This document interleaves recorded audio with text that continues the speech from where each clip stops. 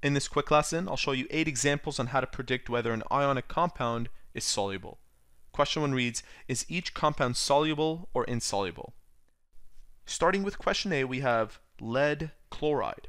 Now normally in an ionic compound, if it contains chlorine, it makes the compound soluble. However, if chlorine is coupled with lead in our case here, specifically lead 2 plus, there's an exception to this rule making this compound insoluble.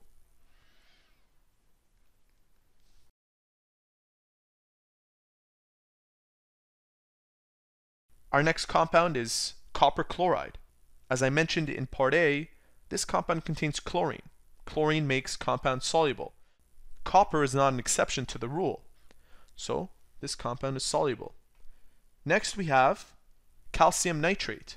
Compounds containing nitrate specifically NO3 with the charge of negative 1, are always soluble. And finally, we have barium sulfate.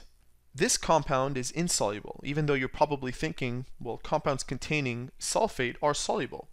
Although when sulfate is coupled with barium, it acts as an exception to the rule, making this insoluble. Question 2 asks the same thing. Is each compound soluble or insoluble?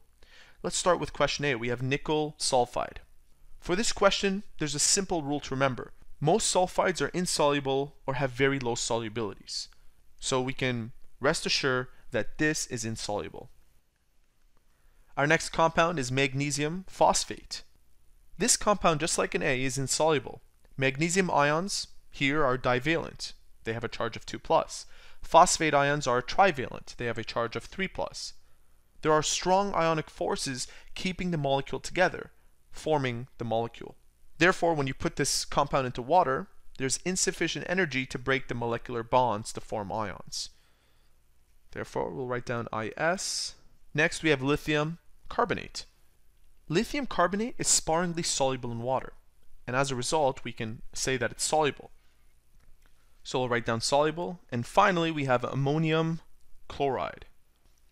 This compound is also soluble, and the reason for that is because when you dissolve this compound into water, the ammonium ion becomes a weak acid, so it can donate protons to water, giving it this property of being soluble. Also, it's bonded to chlorine, and usually chloride ions dissociate in solution. So we'll write down soluble, and there you have it. That is how to predict whether an ionic compound is soluble.